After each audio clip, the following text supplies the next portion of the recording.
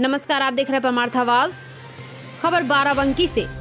बाराबंकी ज़िले की तहसील रामनगर के अंतर्गत मरकामऊ चौका घाट संपर्क मार्ग पर ग्राम पंचायत मरना के पास बिजली विभाग की लापरवाही से टूटे हुए तार सड़क पर पड़े हुए हैं।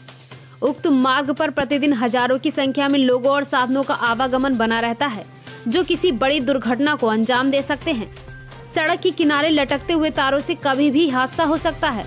बिजली विभाग के कर्मचारी फ़ोन भी नहीं उठाते। शायद उन्हें किसी अनहोनी का इंतज़ार है।